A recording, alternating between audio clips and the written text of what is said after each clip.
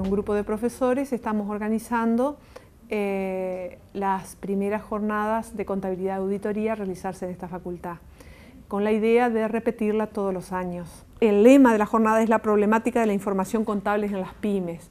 Entonces, eh, muchos eh, profesores de distintas universidades y académicos eh, han decidido participar en estas jornadas, profesores destacados como lo son Enrique Forler Newton, Ana María Petty, Federico Torres, Ana María Campo, Gustavo Sader, José María González, la doctora Graciela Escabone y el doctor Ricardo Palen Acuña.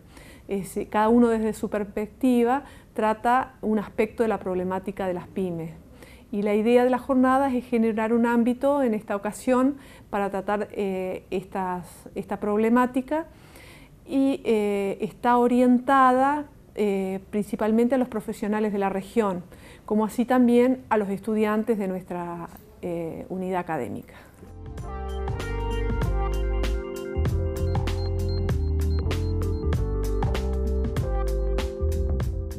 Los docentes y los estudiantes eh, de nuestra unidad académica eh, tienen acceso a la jornada sin arancel alguno.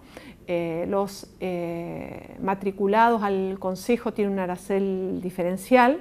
Las fechas 23 y 24 de junio se realizan por la tarde pensando precisamente en nuestros asistentes, en los profesionales, que a veces tienen que dejar sus estudios contables para asistir a la jornada, o sea que la jornada va a ser eh, jueves 23 y viernes de 24 de junio por la tarde, es decir, que tienen la, mañana libre para poder los profesionales atender sus propios estudios o, asistir a sus trabajos. Si bien es una actividad académica, pero tampoco no deja de ser una actividad de, extensión con el, con el medio. ¿no?